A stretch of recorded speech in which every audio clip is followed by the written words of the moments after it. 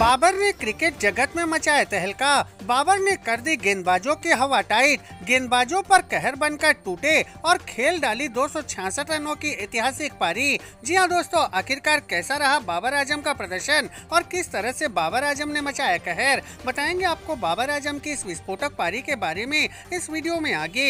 लेकिन इससे पहले आप भी बाबर आज़म को एक शानदार खिलाड़ी मानते हैं तो इस वीडियो को दिल से एक लाइक कर दीजिए। साथ ही चैनल को सब्सक्राइब करना बिल्कुल भी ना भूलें। तो चलिए वीडियो को शुरू करते हैं। दोस्तों, जैसा कि आप सभी को पता है कि फ़िलहाल पाकिस्तान में वनडे कप खेला जा रहा है, जहाँ पर सभी टीमें शानदार प्रदर्शन कर रही है। हालाँकि कुछ ऐसी भी टीमें मौजूद हैं जो खिताब जीतने से मैच कुछ ही कदम दूर है और इस बार वनडे कप में भी पाकिस्तान के पूर्व कप्तान बाबर आज़म भी खेल रहे हैं, जहाँ बाबर आज़म का बल्ला आग उगलता हुआ नज़र आ रहा है। आपको बता दें कि बाबर आज़म हमेशा से पाकिस्तान के लिए बेहतर प्रदर्शन करते आए हैं और इस बार वनडे कप में भी उनका बल्ला जमकर आग उगल रहा है। हालाँकि पाकिस्तान क्रिकेट टीम के दिग्गज बल्लेबाज बाबर आज़म के लिए हाल में हुई बांग्लादेश टेस्ट सीरीज़ बतौर बल्लेबाज कुछ खास अच्छी नहीं रही। बाबर आज़म टेस्ट सीरीज़ में खेली गई चार पारियों में कोई बड़ा स्कोर खड़ा नहीं कर पाए थे। बाबर आज़म इस समय पाकिस्तान में जारी चैंपियंस कप में खेल रहे हैं। चैंपियंस कप में बाबर आज़म का बल्ला जमकर बोल रहा है। साल 2014-15 के कायदे आज़म ट्रॉफी में बाबर आज़म ने